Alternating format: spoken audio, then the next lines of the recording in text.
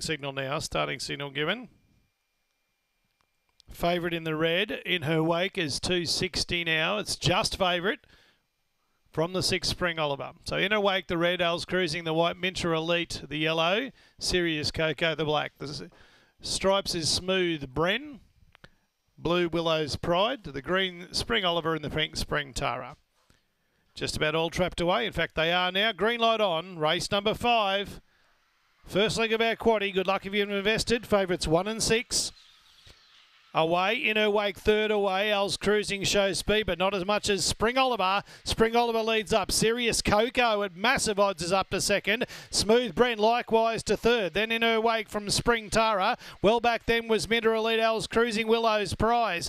At the turn, still in front, Spring Oliver. Up to second is Serious Coco out after it. In front, getting close to home, Spring Oliver. Spring Oliver's the one. Spring Oliver will beat Serious Coco. In her wake, got going late to get third third ahead of Smooth Bren. A distant fifth then goes Minter Elite, Willow's Pride. Spring Tara got tired and Minter Elite is back at the tail. Best back runner in the race gets the cash for Pauline Byers. Spring Oliver.